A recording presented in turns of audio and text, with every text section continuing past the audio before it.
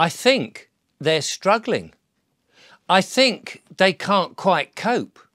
I think where they had the thumb on us, it's, it's lifted, it's shifted. Something is in the air. I don't know if you can sense it. I feel it. I feel that there is now a shift. Do you feel it? I mean, I can see when they're lying. I mean, in the past, you thought perhaps they weren't lying or perhaps that they were just not, you know, economical with the truth, let's say, or that they were just trying to sort of, you know, be okay, but not okay, but okay, but somewhere. Now I can see that they're actually lying. I can see the hatred. I can see the sneers. I mean, they don't hide it. Or if they do hide it, they're not hiding it as good as they used to hide it. Do you sense that? I feel as if we are, with, there's a shift in the world at the moment. I hear people talking about ascension or the revelation or there's going to be the one that's coming and, and things like that. And, and maybe all of that is true. But I can tell you, there seems to be an awareness all over the world that the great rising, the rising up of people, that people are beginning to actually see for once, finally, the lies and the despicable nature of these people who've been holding us down, the people who've been throwing these things at us. It, it's as if the monster is dying, and as it dies in its death throes, it's throwing everything it can at us. Although, of course, none of it's going to make any difference because the monster is dying.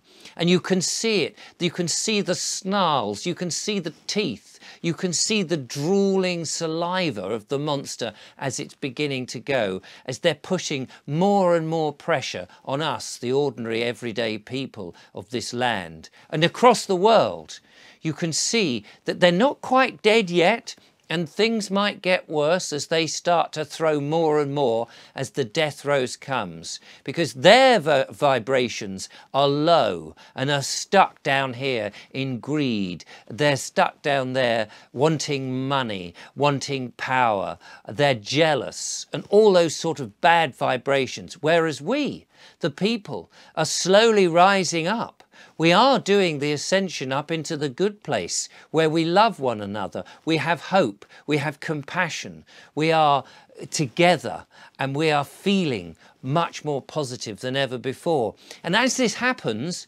I feel that, that we are we're beginning to make a difference. And that's why I can, it's almost as if the glasses that I wear, the vision that I have, I can see through the lies. So I'm asking, can you see it? When they pop up on the television, the politicians, these think tanks, these one world governments, these organisations that nobody's voted for, that they are apparently unaccountable. Well, they are accountable in the great scheme of things. They are accountable and they're losing. They are definitely losing because the mist is clearing. While life might not be as easy as we would like it, I grant you that. But I think that people are beginning to wake up. People are beginning to see through that mist, through the steam, through all the lies and the misdirection. We can see the false flags. We can see the things that mean nothing.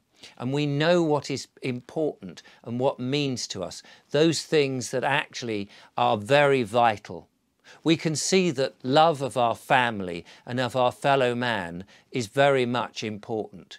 We can see the absolute corruption of teaching our children sexuality in schools.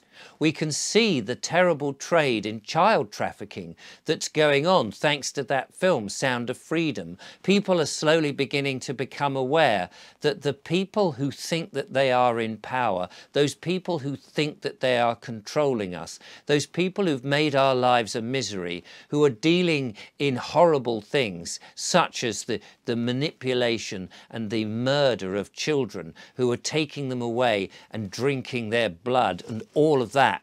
We can see all of that and we're calling it out. We know who they are and they know that we know who they are. and they're withering on the vine. They're throwing all this stuff the digital IDs, the central bank digital currencies, the threat of a UFO strike, everything. They're after our children's sexuality. They're trying to normalize stuff. They're pushing the woke agenda. They're trying to divide and conquer us. But actually, we're seeing through all of that now and we're coming together. We're all looking at the world from different perspectives, of, of, course, such as through perhaps some people looking through the round window, others are looking through the arch window, and others perhaps through the square window. We're all looking at the world from our different perspectives, some perhaps from a, a more spiritual point of view, others perhaps from a more religious point of view. But none of it matters because through those windows that we're looking through, through the arch, the round, the square, whatever way we're looking at it, the view is the same. We see, we see the evil intent, we see what they're trying to do, but we also see beyond that, for we see the good and the, the best that is coming that the, all of this will slowly sort itself out. And, and although it may be a bit rocky, and I'm sure it'll get worse before it gets better, we will resolve all these things because we can see that we are being united.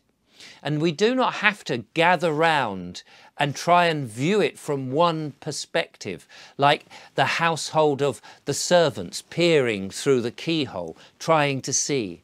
We can see it however we like, but we can still share the same visions. We come together and we see the lies, we see the deception, we see the theatre, and we also see the, the old man behind the curtain, desperately trying not to be seen, working his, his mechanical nonsense, and we can laugh at them.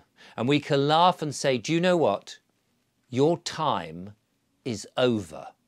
You've had your play but it's over.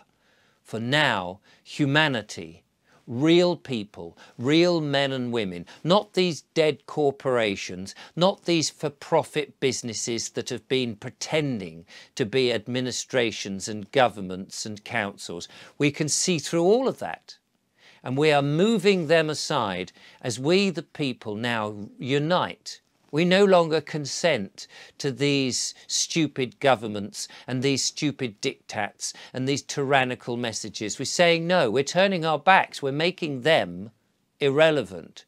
For we see the lies, we see the deception, and we're moving forward to a far, far better place.